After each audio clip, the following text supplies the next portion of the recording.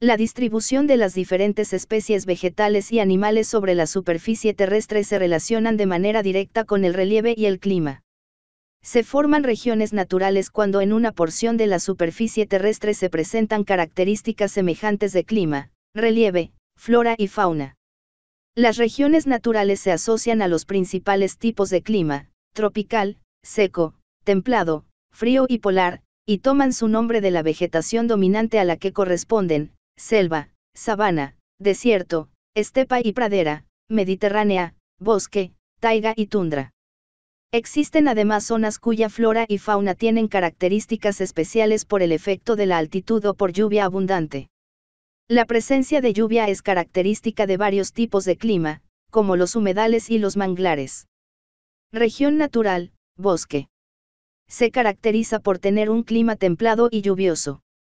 Se distribuye en gran parte del continente europeo, la región oriental de Asia, en especial, China y Japón, y América del Norte.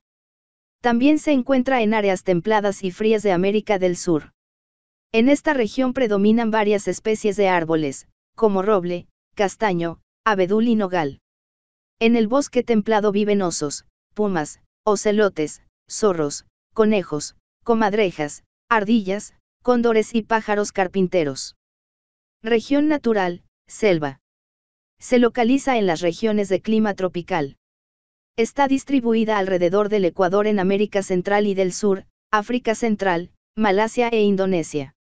En ellas llueve todo el año y, por sus condiciones de calor y humedad, prolifera una vegetación diversa y abundante, desde árboles de gran tamaño, como la ceiba, el cedro y la caoba, hasta plantas de dimensiones pequeñas, tales como los musgos y helechos, además de una extensa variedad de orquídeas. En estas regiones viven monos, ardillas, mandriles, jaguares, serpientes, coloridas aves, entre muchas especies más. Región natural, humedales y manglares. Son zonas que en general se asocian a climas tropicales debido a la abundancia de agua, sin embargo, también pueden encontrarse en climas secos o templados a causa de las condiciones geológicas y topográficas que han favorecido la existencia de importantes extensiones de tierra inundable. Región natural, estepa y pradera. Por sus niveles de temperatura pueden considerarse de clima templado, pero la escasez de agua determina finalmente su asociación a los climas secos. Estas regiones se caracterizan por la presencia de pastizales, arbustos y otro tipo de vegetación que se adapta a la escasez de agua estacional o casi permanente. La distribución de las praderas en América del Norte se extiende desde el río Mississippi y los grandes lagos hasta las montañas rocosas, en América del Sur se conoce como Pampa, y abarca Uruguay, el sur de Brasil y el centro de Argentina.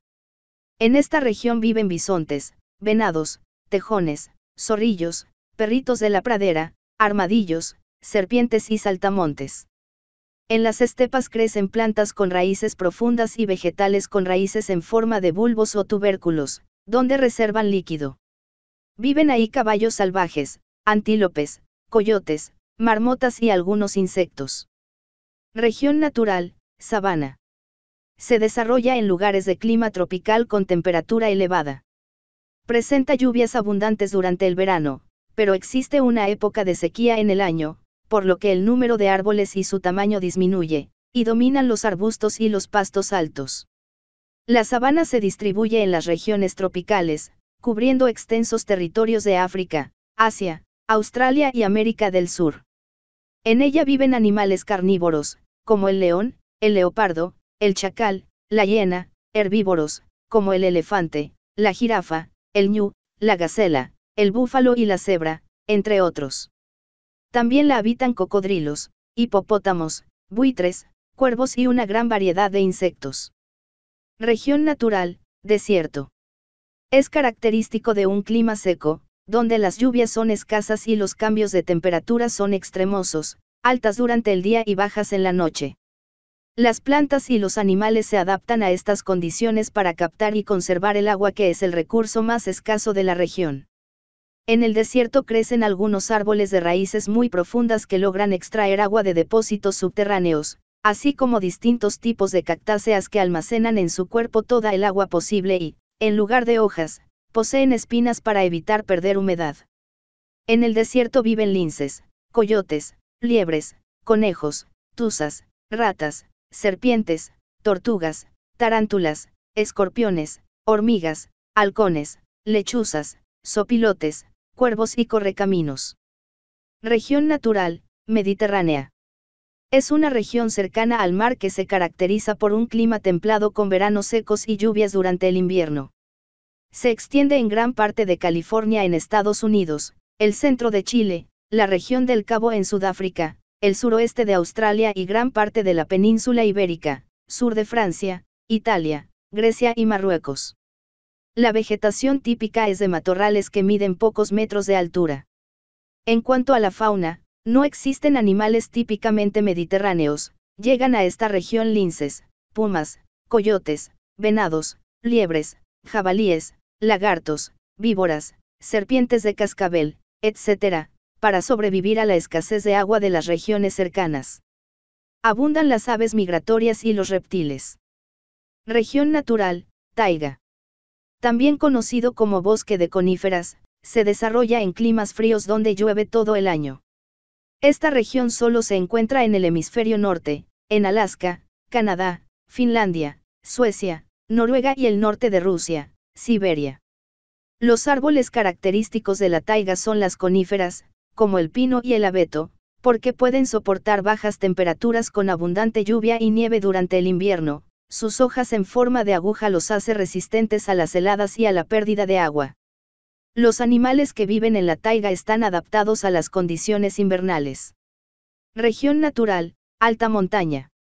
Su clima, vegetación y fauna tienen características distintivas por la altitud a la que se encuentra.